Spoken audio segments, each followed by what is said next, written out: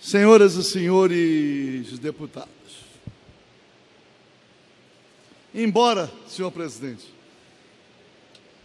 nem sempre eu faça o registro que vou fazer, entendi ser oportuno fazê-lo.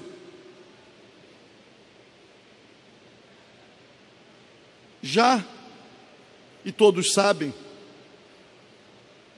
já tive a oportunidade de dizer que tive a honra de participar da elaboração da Constituição de 5 de outubro de 88. Fui constituinte. E também, é esse o registro que faço, mesmo em sendo oriundo dos quadros da Polícia Militar, sou também advogado. Regularmente inscrito na Ordem dos Advogados Seccional Rio de Janeiro. E fiquei perplexo, contrariado, em vendo a manifestação do anônimo presidente do Conselho Federal da Ordem dos Advogados do Brasil em questões que deveria ser do seu pleno conhecimento.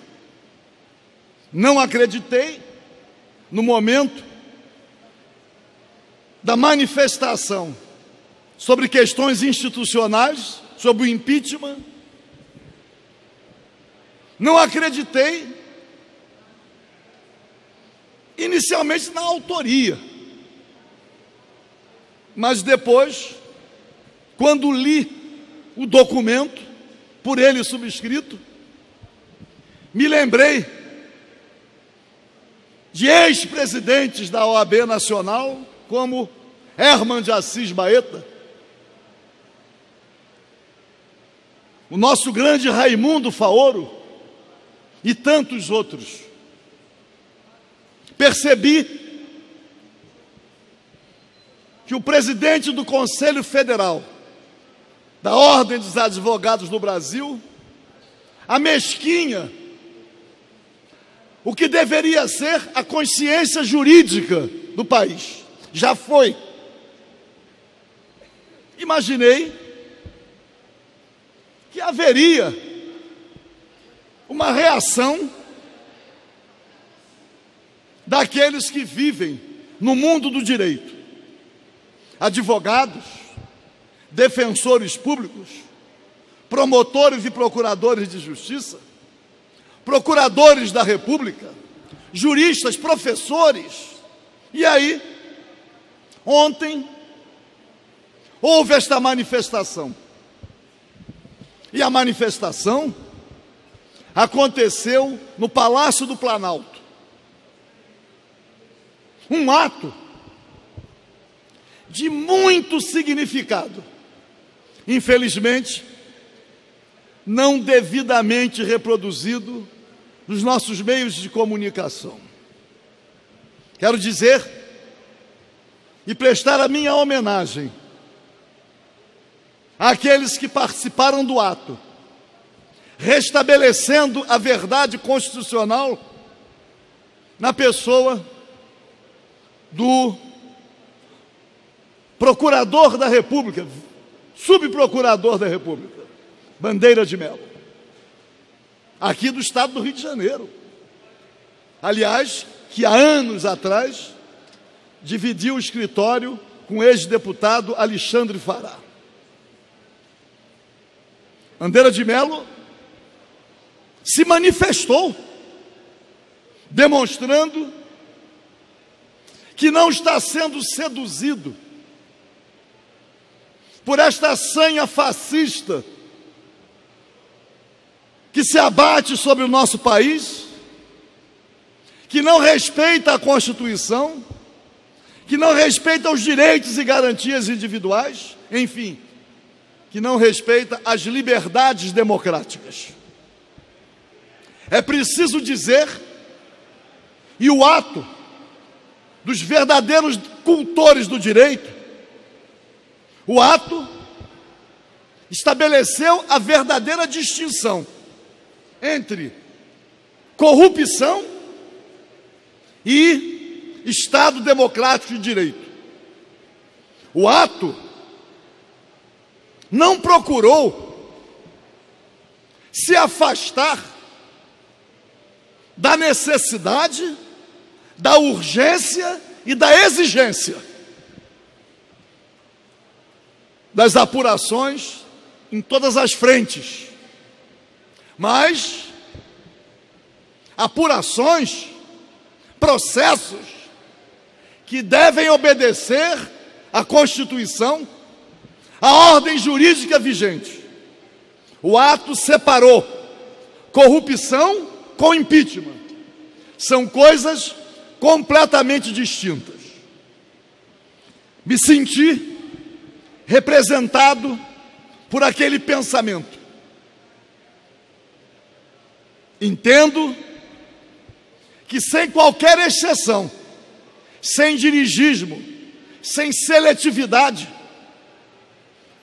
todos os atos que comprometeram o erário, todos, devem ser investigados e os envolvidos devem ser processados. Mas a questão do impeachment. E aí, senhor presidente, falo como constituinte. Impeachment, obviamente, não é golpe. Existe a reserva constitucional para o impedimento do presidente da República.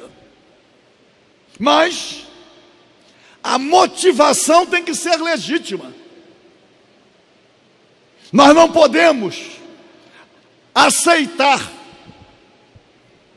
a manipulação da interpretação da Constituição para que ela sirva como biombo para um golpe. Porque a motivação,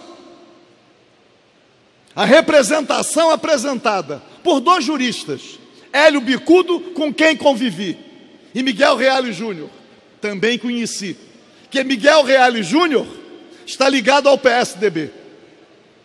Foi ministro da era FHC.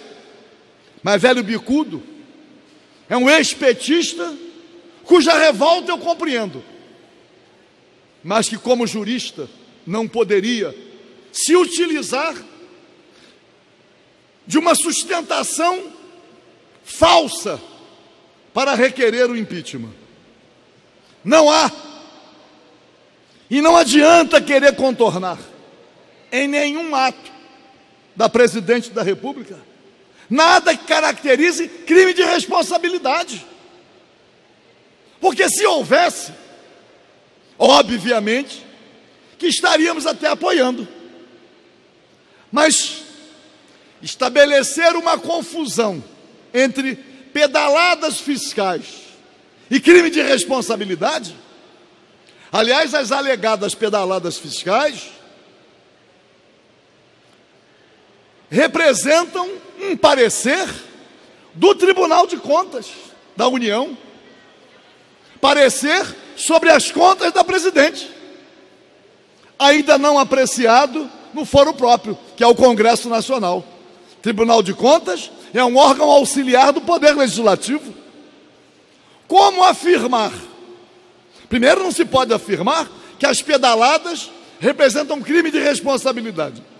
Mas mesmo assim, se não houve a apreciação definitiva, nem isto fica possível.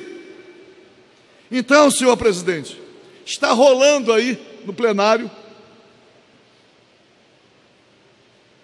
uma relação de nomes de políticos que receberam qualquer contribuição da Odebrecht.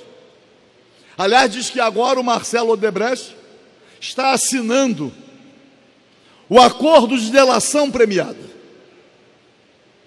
Seria